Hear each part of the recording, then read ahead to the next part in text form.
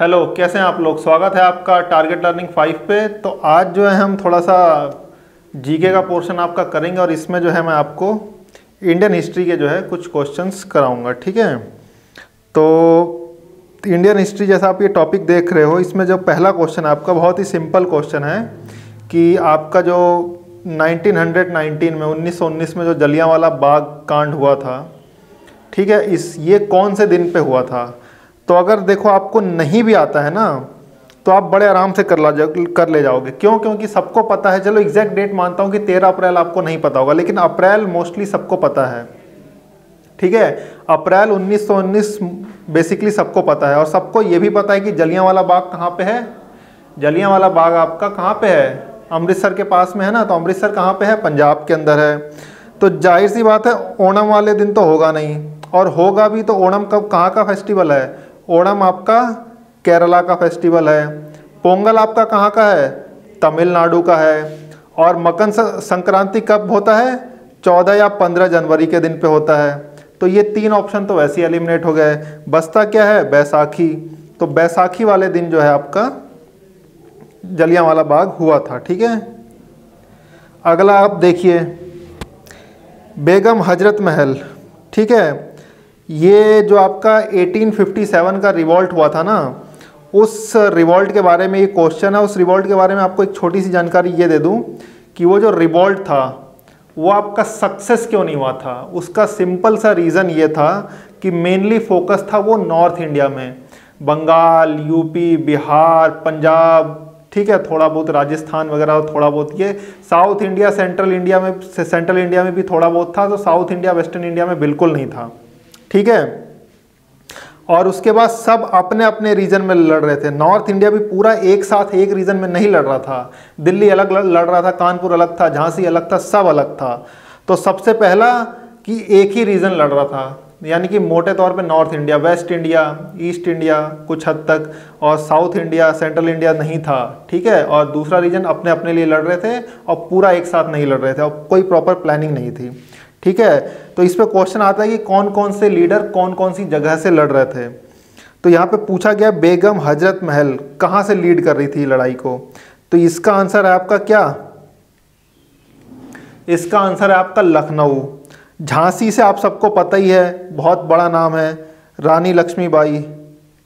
ठीक है? रानी लक्ष्मीबाई आपसे कहाँ से थी? झांसी से लीड कर रही थी। उसके बाद आपका कानपुर से कौन लीड कर रहा था ये बताओ? कानपुर से लीड कर रहे थे नाना साहेब। ठीक है? और बिहार के जसपुर पे भी एक क्वेश्चन बनता है, वहाँ से कौन थे? बिहार का जो जसपुर है, वहाँ से कौन से? कुंवर। ठीक है? बिहार के जसपुर से आपका कुंवर सिंह है, ठीक है?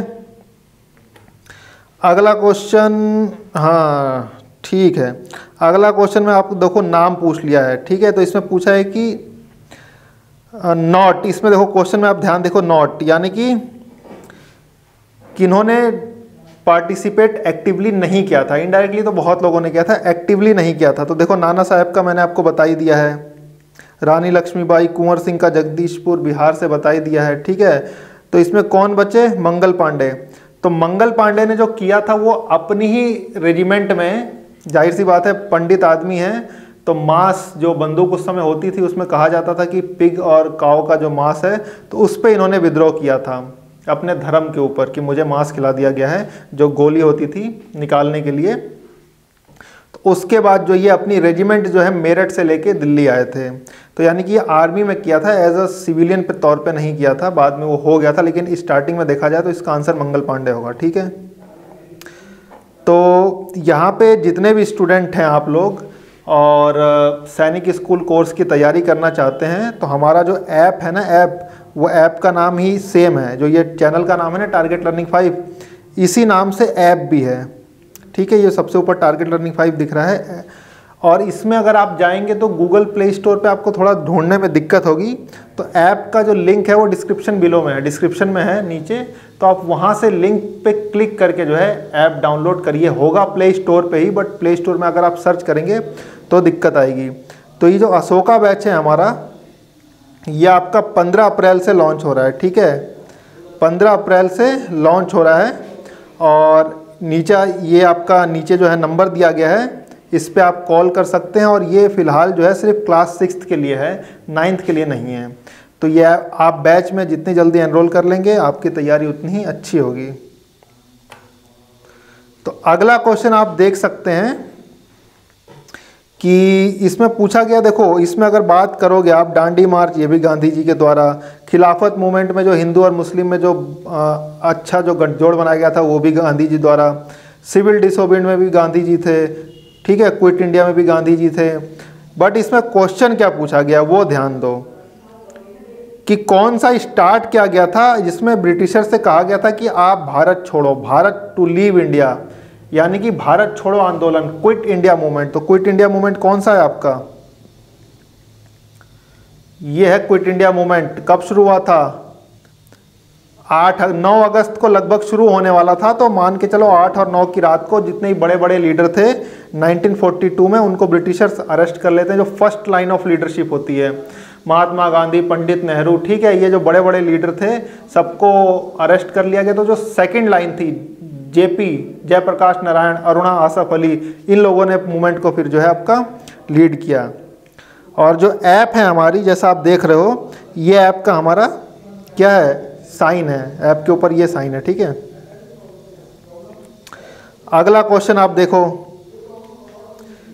During British rule Haryana become the part of Punjab बाद में सेपरेशन हुआ था, वो हुआ था आपका 1966 में, वो बात अलग है। बट यहाँ पूछ रहा है कि हरियाणा को पंजाब का पार्ट कब बनाया गया था? अब आप देखो सिंपल सी कहानी। सबसे पहले तो इंडिया के ऊपर जो राज करा था ईआईसी e ने राज किया था ईस्ट इंडिया कंपनी कभी आपने सोचा है, एक कंपनी पूरे के पूरे हिंदुस्तान पे कब्जा कर गई। ऐसा कैसे हो गया? और वो भी ऐसी कंपनी जो कि सात समुंदर पार ब्रिटेन से आई थी और उसने जो है पूरे के पूरे हिंदुस्तान, इंडियन सब कॉन्टिनेंट पे ही कब्जा कर लिया। आप सोच रहे हो कि आपके घर में किसी मतलब दसवें रात से कोई आदमी आया और आपके घर में ही कब्जा करके आप ही के पैसे लूट के आप ही को मार पीट रहा है? ऐसा हुआ है हिंदुस्तान के साथ। कहानी बड़ी इंटरेस्टिंग है, कभी कहोगे तो बताऊँगा। इसमें जो आप देखो ईस्ट इंडिया कंपनी जो आई थी, उससे पहले ईस्ट इंडिया कंपनी का राज था और 1858 में जो आपका गवर्नमेंट ऑफ़ इंडिया एक्ट 1858 पास हुआ, जिसके बाद क्या हुआ? ब्रिटिश रूल आ गया क्राउन का रूल आ गया। तो 1858 में जब ये पास हुआ था तो उसी टाइम पे हुआ था। क्या हुआ था? हरियाणा जो है, पंजाब का पार्ट बन गया था। ज़ाहिर सी बात है, उससे पहले तो 1857 में तो रिवोल्ट चल रहा था। उधर तो कुछ होगा नहीं। और 1919 में तो टाइम बहुत आगे निकल गया। उस समय तो चीज़ें बहुत सही हो जाती हैं। और आज़ादी के टाइम पे तो ये सब होगा नहीं ना, क्योंकि वहाँ पे बहुत चीज़ें ख़राब भी चल रही थी पार्टीशन हुआ था। तो करेक्ट आंसर है यहाँ पे 1858 जब गवर्नमेंट ऑफ़ इंडिया पास किया गया था। अगला क्वेश्चन आप देखो 1757 मतलब अगर मैं आपको बताऊँ तो जो ईस्ट इंडिया कंपनी थी ना, उसका एक बहुत बड़ा उसको बेनिफिट मिला था कब? 1757 बैटल ऑफ़ प्लासी बंगाल के पास में, जब वो बैटल ऑफ़ प्लासी जीत गए 1757 अब देखो, आने को तो वो 1600 में आए थे। ठीक है? और लगभग 1707 तक 1707 तक मुग़ल अंपायर बहुत तगड़ा हुआ करता था। औरंगज़ेब जो था, उसके राज तक मुग़ल अंपायर तगड़ा था। औरंगज़ेब के बाद फिर चीज़ें ख़राब होना शुरू करी, और उसके बाद जो है चीज़ें बहुत ख़राब होती चली गई। तो उसके बाद जब औरंगज़ेब का शासन ख़त्म हुआ तो कुछ टाइम बाद इन्होंने अपनी गणित लगाई और 1757 में इन्होंने क्या करा कि जो मीर जाफ़र था हाँ ये नाम दे रखा है। मीर जाफ़र जो था, ये सेनापति था सिराजुद्दौला का। इसको अंग्रेज़ों ने अपने साथ मिला लिया। क्लाइव क्लाइव करके अंग्रेज़ था, उसने अपने साथ मिला लिया। और ज़ाहिर सी बात है, जब सेनापति ही आपका मिल गया तो भाई सेना की कमांड गई। तभी आप सोचो, लगभग पंद्रह से बीस हज़ार की सेना और उन्होंने हज़ार लोगों से हार गए। मतलब अगर एक एक हाथ भी छोड़ा जाए तो आदमी पंद्रह पंद्रह थप्पड़, बीस बीस थप्पड़ पड़ेगा तो वैसे ही पलट जाए। तो बीस हज़ार की सेना, दस हज़ार की सेना से हार गई। कैसे हार गई? धोखा दे दिया था मीर जाफ़र ने, ठीक है? तो पहली लड़ाई जो जीते थे 1757 की जीते थे और दूसरी जीते थे 1764 बक्सर की लड़ाई। बिहार, छत्तीसगढ़ का एरिया है उसके पास। ये दोनों लड़ाई जब वो जीत गया तो उनका अपना एक हिसाब से किला बन गया। उसके बाद तो ये किले ध्वस्त करते चले गए। अवध, यूपी सब एंटर करते चले गए। तो पहला जो ब्रेकिंग पॉइंट था 1757 बैटल ऑफ़ प्लासी तो बैटल ऑफ़ प्लासी में किसको हराया था अंग्रेज़ों ने? सिराजुद्दौला बंगाल के नवाब को। और उसके बाद जब ये हार गया तो बंगाल का नवाब मतलब ये सही आंसर है इसका आंसर इसका ये सही है, ठीक है, सिराजुद्दौला। बट जब सिराजुद्दौला हार गया तो फिर क्या करा गया? फिर जो है मीर जाफ़र को बंगाल का नवाब बना दिया गया और मीर जाफ़र ने कहा कि हम तुमको इतने छूट देंगे, ये देंगे, वो देंगे। बाद में अंग्रेज़ इससे खुश नहीं हुए तो उन्होंने क्या करा कि इसको हटा के मीर काजिम को बना दिया। मीर काजिम, बट वो चीज़ें कर नहीं पाया तो फिर हटा के जो है फिर मीर जाफ़र को बनाया था। तो ये सारी कहानी हुई थी। तो 1757 में डिफीट कौन हुआ था? सिराजुद्दौला। ठीक है, इसका आंसर सिराजुद्दौला होगा। अगला क्वेश्चन क्या है? In the fourth session of Indian National Congress held in 1888 पहला सेशन कब हेल्ड हुआ था? 1885 से सेशन हेल्ड हो रहे हैं, ठीक है? तो 1888 में जो सेशन हेल्ड हुआ था, कहाँ पे हुआ था ये सेशन इलाहाबाद में। तो पूछा क्या गया who? Of the following national leader represent Hisar? Hisar का मतलब क्या हो गया? हरियाणा। हरियाणा को किसने रिप्रेजेंट किया था? ज़ाहिर सी बात है, लाला लाजपत राय इसका सही आंसर होगा, ठीक है? हाँ तो ये देखो, इंडस वैली सिविलाइजेशन से बहुत अच्छा क्वेश्चन है कि आपकी ये सिविलाइजेशन है, कौन सी सिविलाइजेशन है? ये वाली, ये सारी सिविलाइजेशन है और ये सारी नदियाँ हैं। पहले सारी की सारी सिविलाइजेशन जो नदियों के पीछे नदियों के किनारे जो है, बसी थी। तो लोथल कहाँ पे है? लोथल, ये देखो, लोथल आएगी कहाँ पे? भोगवा नदी पे। ठीक है? उसके बाद मोहन जोदड़ो कहाँ पे आएगी? ये आएगी इंदस नदी पे। ठीक है? रोपड़ रोपड़ कहाँ पे आएगी? देखो, रोपड़ आएगी आपका सतलज पे। ठीक? काली बंगन कहाँ पे आएगी? रोपड़ आपकी कहाँ पे आएगी? सतलज पे। ठीक? जो आपकी काली बंगन है, ये कहाँ पे आएगी? घग्गर पे। और हड़प्पा जो है आपकी कहाँ पे आएगी? रावी पे।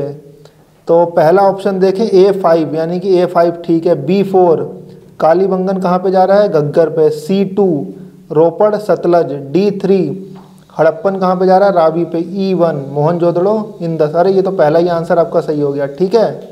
तो ये आप याद रखना, लोथल, भोगवा नदी काली बंगन आपका कहाँ जा रही है? गग्गर। लोथल, भोगवा काली बंगन घग्गर रोपड़ जो है सतलज, हड़प्पा, रावी, मोहन जोदड़ो इन दस और मुझे उम्मीद है कि आपको एटलीस्ट इसमें से दो तो याद ही होंगे। एक तो आपका मोहन जोदड़ो, ये कहाँ पे है? इंदस पे। और दूसरा आपका हड़प्पा, जो कि रावी नदी पे है। ठीक है? अगला आप देखो। चेनाब को जो वैदिक पीरियड है, उसमें चेनाब नदी का क्या नाम था? उस समय इसका नाम था अस्किनी। ठीक? Askini is the right answer और ये तो बड़ा सिंपल क्वेश्चन है। बुद्ध, भगवान बुद्ध का जन्म कहाँ पे हुआ था? भगवान बुद्ध का जन्म हुआ था लुम्बिनी में, ठीक है? तो ये आपके जो है क्वेश्चन जो थे, सारे हो गए हैं। तो ये इम्पोर्टेंट क्वेश्चन है। थोड़े से इसमें आपको टफ भी मिलेंगे, वो आप अपने हिसाब से देख लेना, याद कर लेना। और जितने भी स्टूडेंट यहाँ पे तैयारी कर रहे हैं, उनको तो मैंने आपको बता ही दिया है कि हमारा जो ऐप है, वो है target learning five Google Play Store पे सर्च करने में दिक्कत आ सकती है तो लिंक डिस्क्रिप्शन बिलो में दिया हुआ है नीचे दिया हुआ है, उस पर आप क्लिक करके ऐप डाउनलोड कर सकते हैं, और ये जो है आप नीचे देख रहे हैं, ये ऐप के ऊपर का जो है साइन है, ठीक है, लोगो है तो ये ऐप है, और इसी नाम से जो है, इसी बेस से आपका कोर्स है तो आप कोर्स ले सकते हैं। तो उम्मीद है आपको वीडियो ये पसंद आएगी, और जो भी आपकी प्रॉब्लम है, नीचे कमेंट बॉक्स में कमेंट कर सकते हैं, थैंक यू।